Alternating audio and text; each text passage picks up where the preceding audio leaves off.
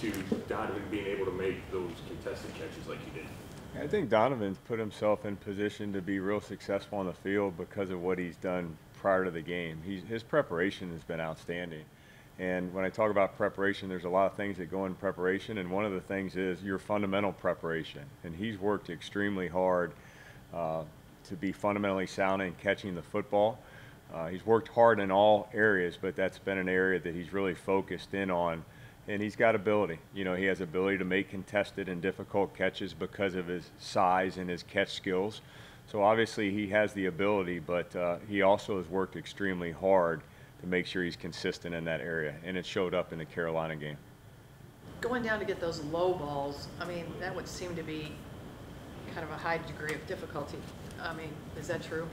Yeah, it is. I mean, and I think that when you have receivers that can make the contested difficult catches, especially when you're facing teams that are going to play tight man coverage and and schematically do some things to try to make it difficult on you, you're going to have to have the ability to make the difficult catches. And fortunately, with a player like Donovan, he, he's been very good in that area, and we consider it a strength, and, and sure glad to have him.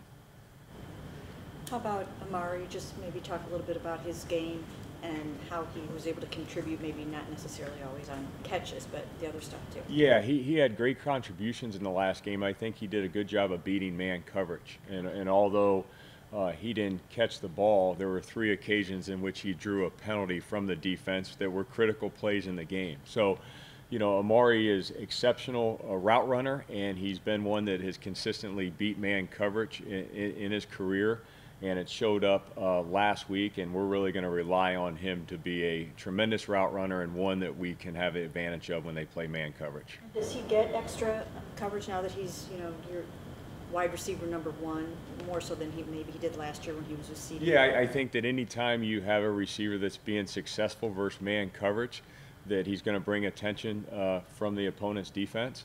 Uh, so you know, I think every week is different and every defensive scheme is different on what they choose to do to try to defend him. Uh, but certainly, he's been consistent in beating man coverage, and uh, you know, it's a big part of what he does for us. You notice a, a, a difference in Anthony this week, just in terms of being able to go out there and make a couple plays on Sunday. Had to, you know, he even said it. It took some of the extra baggage off. He felt off of his shoulders. Have you noticed a difference in him? Yeah, I mean Anthony again. He's another player that's worked really hard and tried to do everything we've asked him to do and, and try to improve daily. And when you go in the game and you can catch the ball and, and have some success, you know, it, it brings some confidence. And and I think that Anthony is had a great week of practice this week. He's been very consistent, and I, I look forward to, to, to seeing him here in the near future you do anything special or specific to help him kind of get through those that drop period he had during the preseason? Yeah, I mean, we with with Anthony and all of our receivers, we go back just to the fundamentals and really try to put an emphasis on what we believe uh, that you need to do fundamentally to catch the ball. So I, I wouldn't say that we. Uh, did anything that was extremely different. Uh, we just fell back on what we really believe as teachers and coaches to try to, to get him to be consistent in catching the ball. Did you have any other examples for him of receivers, good receivers that had amazing careers that went through a similar slump that you were able to? Yeah, not not necessarily. You know, we we just always talk to our players about the power of positive thoughts and and uh, they're here for a reason because they bring something to the Cleveland Browns. As you know, in particular, offensively, that's a strength, and we try to really accentuate their strengths and and, and uh, talk to them about you know how important that those things are, but not necessarily one in particular that we have used as an example with Anthony. Uh, Coach, we talked a lot about like the O line and the tight ends when it comes to the run game, but like you know obviously your guys are important too when you have a big game like that. So how are your guys in the run game? Yeah, yeah, I mean, we, we stress that at the receiver position. I know that I personally take a lot of pride in that as a coach of, of how we do in the run game. I think it's the ultimate display of team football. Is you know we, we talk a lot about our receivers getting open and catching the ball, but we also talk about competing in the run game, and especially with an accomplished run game as we have with great runners and a great offensive line here. You know, it's really important that, that we do our job in the run game and that we're able to finish blocks be fundamentally sound and play with great effort. They know it's an emphasis point with uh, with our team, and they do take a lot of pride in that. David Bell with his uh, comfort level and development, given the fact that, you know, he missed that start of training camp. Yeah, I think that it's a work in progress when you have a rookie receiver, and then to play in the slot, there's a lot of moving parts for for young players. So uh, he's doing a good job. He's getting better every day. Um, you know, I, I think that he's been on the field. He's been on the field. He's been available to get better every day. He certainly has done that. I've seen him improve. I've seen growth, and hopefully that trend continues. In terms of Jacoby, uh, it was obvious that, you know, he, he missed a lot of guys in that game.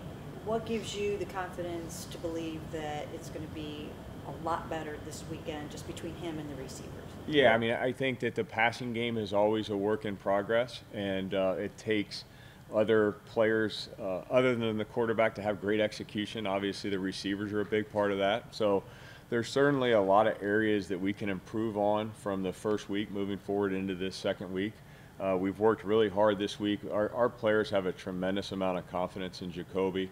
Um, you know, he's he, he's done such a good job of, of working hard and, and, and really trying to be on the same page with our receivers. Uh, they do respect him a lot, and uh, you know I'm, I'm glad he's playing quarterback for us.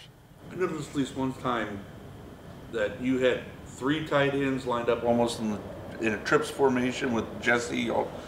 Um, how much, without obviously giving away a game plan, but but how much does flexibility does like a guy like Jesse give you in terms of what you can do with with like three tight end sets? Yeah, I mean, I, I think that anytime a player uh, can ha- play in multiple roles or we can do multiple things within our offense, it's helpful, beneficial. The tight ends are certainly a big part of what we do here offensively.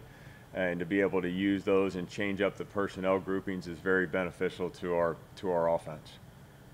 How about Michael? Um, do a couple more. Michael's, you know, been sick and had the hamstring. I mean, does what are the chances of him being able to catch up and kind of get himself back onto track? Yeah, I mean, he's you know he hasn't been with us because he's had some sickness, and you know his goal now is to just get back here, get on the practice field, continue in his development. So um, you know that's all we're asking him to do. Um, you know his his availability is obviously based on his amount of time he can get out there on the practice field and get ready for us. So I look forward to just him, you know, continuing to develop and working hard and doing what we've asked him to do. I know the individual receivers study the guy they're going to go against the corners. How much time as a group do you guys spend, like looking at the Jets' corners and kind of breaking out? the Yeah, we spend a considerable amount of time studying the opponent's uh, defensive backs. It's a big part of our process. Uh, the players are very diligent in their preparation that they do uh, away from the building in studying the defensive backs that we're playing.